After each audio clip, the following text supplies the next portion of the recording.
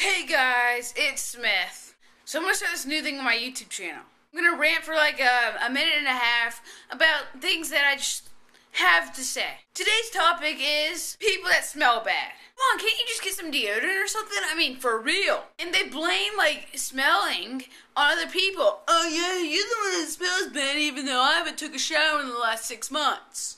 I mean, you can at least take a shower. If you don't even have water, at least go to a fire hydrant. And what's weird is that, okay, they use a chainsaw to open up that fire hydrant, but with that chainsaw money, they could buy a shower. What is this? I know the economy is in a bad position, but at least you can try to smell fresh in the dice. Yeah.